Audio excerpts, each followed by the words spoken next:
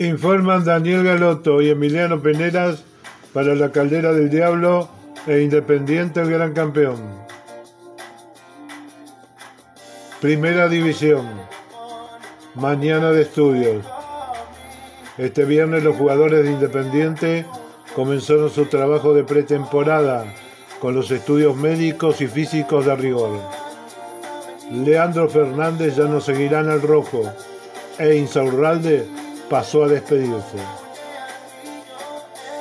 El plantel profesional comenzó la pretemporada en el predio de Villa Domínico y así comienza de manera oficial la era de Leandro Estilitano al frente del Rojo, acompañado por el presidente Fabián Domán. En la jornada se realizaron los siguientes exámenes.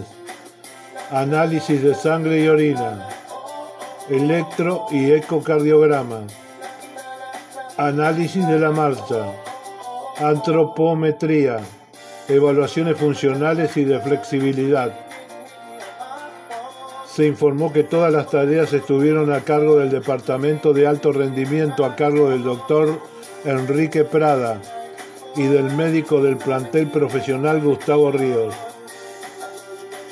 Leandro Fernández no estuvo presente en la jornada porque va a continuar su carrera en el exterior con una oferta de la Universidad de Chile, mientras que Juan Manuel Insaurralde, quien también finaliza su contrato a fin de año y no será tenido en cuenta, pasó a saludar a sus compañeros. De la reserva se incorporaron Manuel Tazo, Martín González, Fernando da Rosa, Sergio Ortiz, Matías Sosa, Ramiro Lobo y Tiago Mastro Lorenzo